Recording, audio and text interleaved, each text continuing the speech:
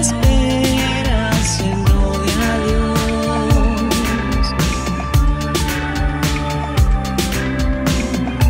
Nada más que susto y ti de seguir, creyendo que un día la suerte va a cambiar y al fin todo será.